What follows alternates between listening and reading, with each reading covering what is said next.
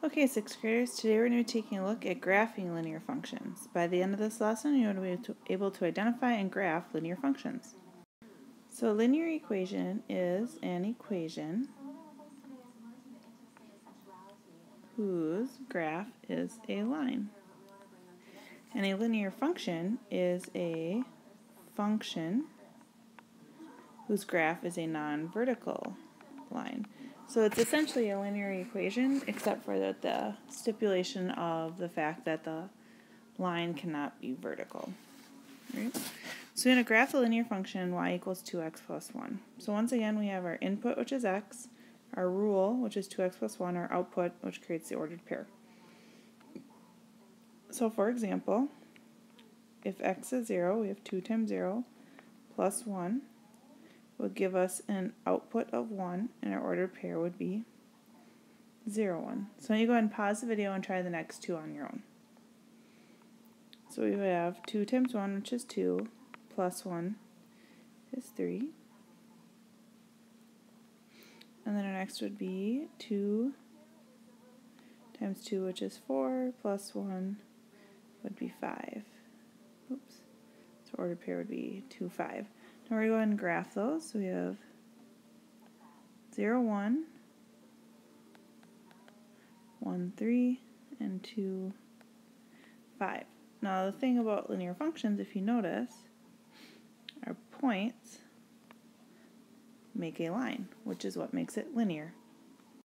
So now let's just look at another example. We're going to graph the linear function y equals 4x minus 2.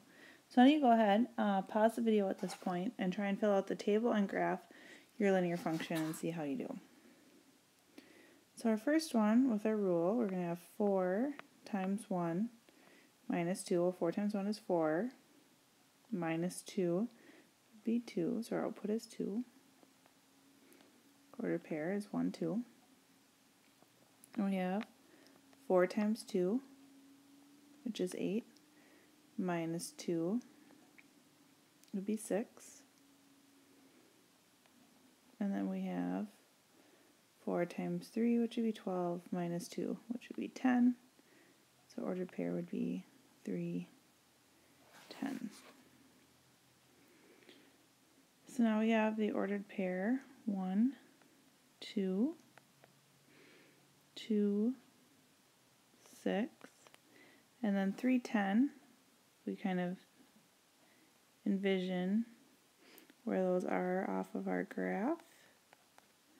Will be up here, and then once again, we notice that they form a line.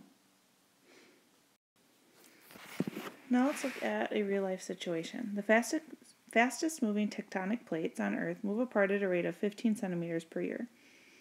Scientists began studying two parts of these plates when they were 30 centimeters apart. We want to write a linear function that describes the movement over time and graph the data to show the movement over the next four years.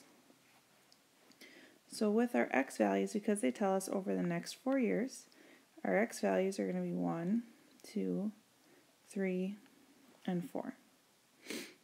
Um, so our y, or our output, have to think about where your starting point is. So our starting point is 30 centimeters.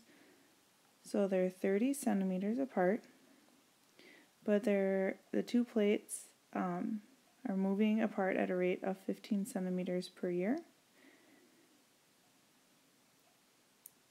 So they're going to add 15 additional centimeters per year, and our year is going to be x.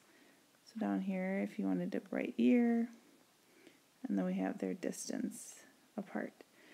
Now, x values of 1, 2, 3, 4, 5, and 6 make sense, but our y values, if you notice I tried to cut them off a little bit, don't actually make sense for us to be 1, 2, 3, 4, 5. Because they're moving apart at a rate of 15 centimeters per year, we can change our scale to be whatever we want. So I'm actually going to make mine 15. So it's going to go 15, 30, 45, 60, 75, and 90. So when I do my output now, after one year, they're additional 45, or they're an additional 15 centimeters apart. So instead of being 30, They're now 45, so our first ordered pair is 1, 45. After two years, it's going to be 60 centimeters apart, so it would be 260. After three, they're going to be 75. And after four years, they're going to be 90 inches apart already. Now I'm just going to graph those. So I have 1, 45. And if we wanted to graph their starting point at year 0, which would be 30, we could do that. You're going to notice it's actually going to still line up in that same order. And then we could actually even show this to make a prediction without doing the calculations following our line. So at 5 we'd be another 15 apart.